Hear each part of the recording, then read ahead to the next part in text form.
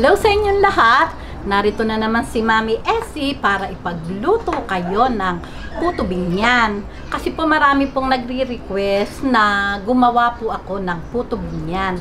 Ngayon po, narito na at ating nang gagawin. Narito po ang mga kakailanganing ingredient. 3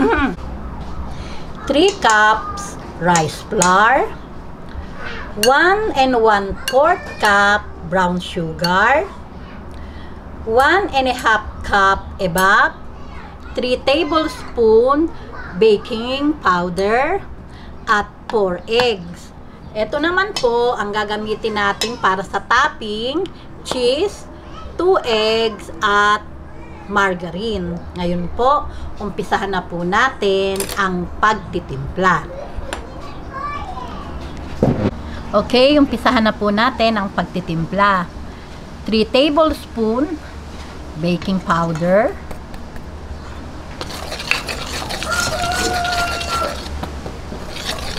One and one fourth brown sugar.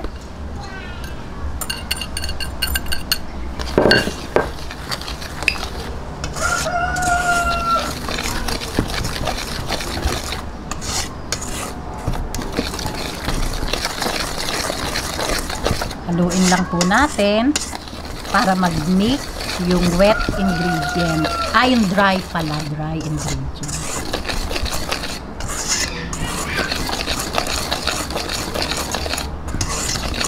Ngayon, ilalagay ko na po itong ebap, 1 and a half cup na ebap. Ayan.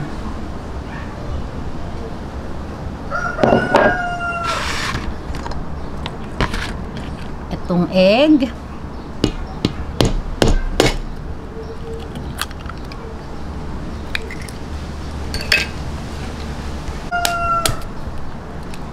Four eggs. Ayan, simpleng-simple lang pong gawin. Itong masarap na merienda to. Ayan.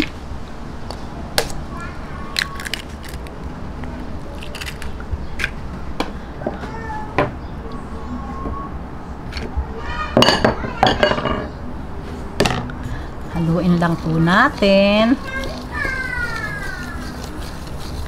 Ayan, ganyan lang po.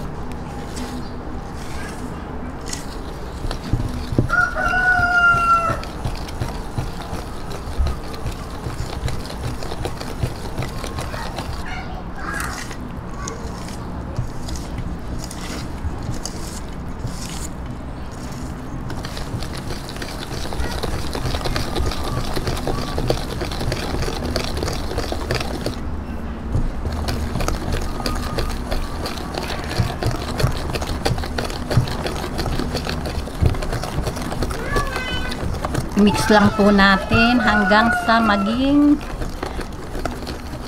ano na po talaga siya lahat. Yung tunaw na tunaw na po yung ating mga nilagay na ingredient. Ayan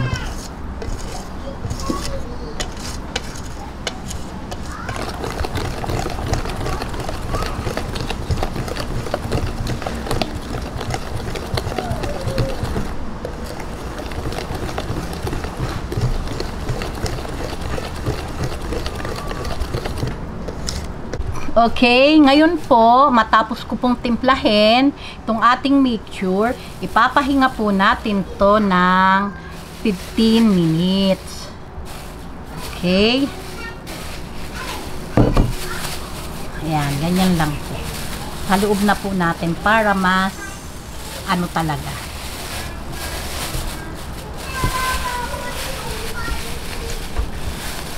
Okay.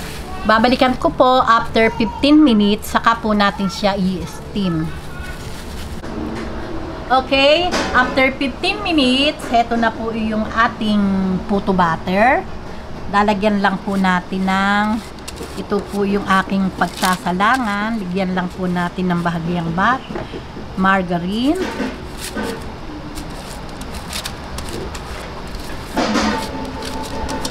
Ayan.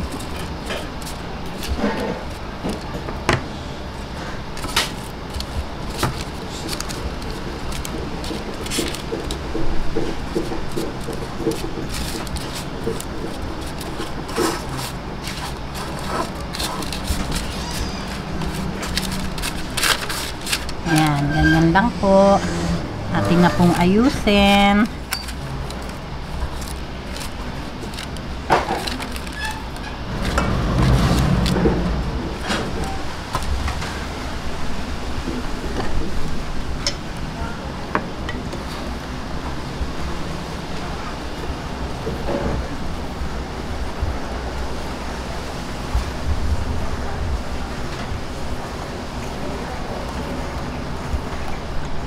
Ayan. Atin na pong ibuhos.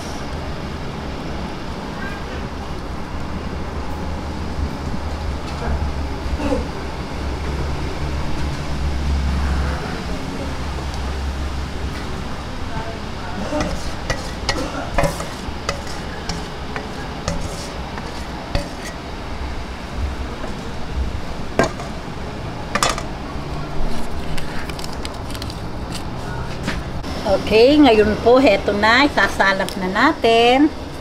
Kulong-kulo na po. Bibigay lang po natin tong itlog. Ayan, ganyan lang po.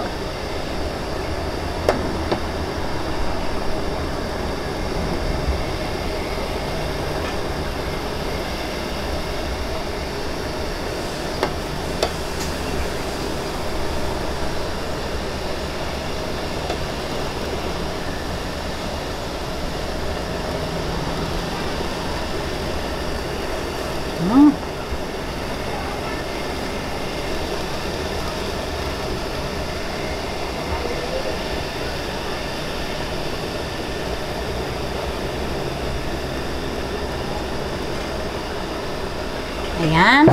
Atin po siyang i-steam ng 30 minutes. Ngayon po, babalik po ako after 30 minutes. Okay?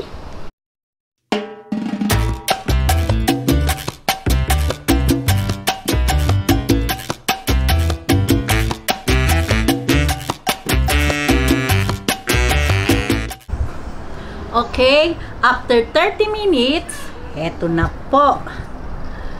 Wow! Napakaganda po ng ating po ng ating po tubinyan. Ayan, ngayon po, gagadgaran na po natin ng cheese sa ibabaw hanggat mainit.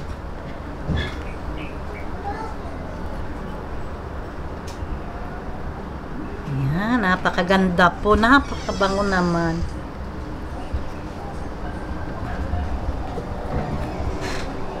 Ayan. Okay.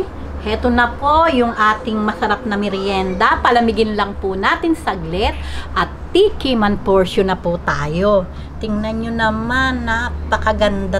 Hindi ko pa man natitikman, talagang masarap na. Sa amoy pa lang po. Okay, ngayon po, heto na yung ating nilutong napakasarap na puto binyan. Tikiman portion na po tayo. Okay.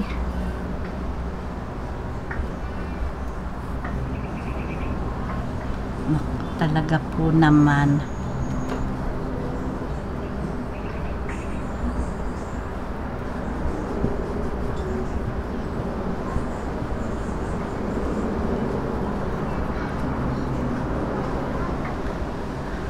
Meron pa nga palang ayun. Ayan. Talaga po naman, no.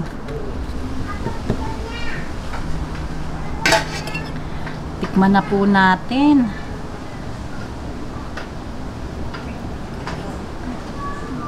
Talaga po. Gusto ko po nito may niyog. Oh.